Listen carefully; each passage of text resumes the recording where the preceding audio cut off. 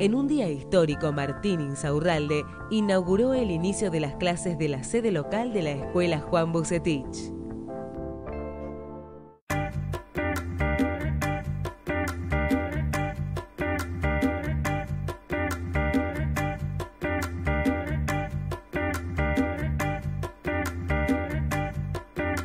Acá inaugurando esta descentralización de la Escuela Bucetich para toda la región, para los seis distritos aledaños a Loma de Zamora. Feliz, es un orgullo. La verdad que nuestra Universidad de Loma de Zamora sea el anfitrión, donde vengan acá a, comenzar los estudios cada uno de, los alumnos, de los aspirantes a, oficiales de la escuela. Así que felices porque hemos superado eh, todo parámetro, todo sueño que teníamos de más de 40, 50 inscriptos por año. Tenía Loma de Zamora fueron más de 700, así que este curso con, con 300 aspirantes estamos más que felices y ansiosos de, que culmine a fin de año.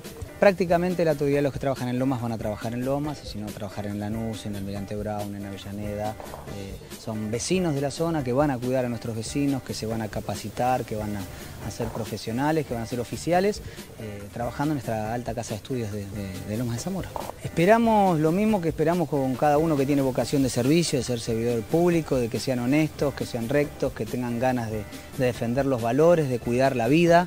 Eh, siempre dentro del marco de la ley, que sean nuestros propios vecinos, creo que da un valor agregado, conocen a, sus vecinos las escuelas, donde están los problemas, donde están los lugares de salud. Me parece que es más que importante que sean servidores públicos acá en lo local. Los aspirantes que antes no querían eh, ir hasta Verazate, ir a la escuela que era centralizada, le da mayor cantidad de, inscriptos.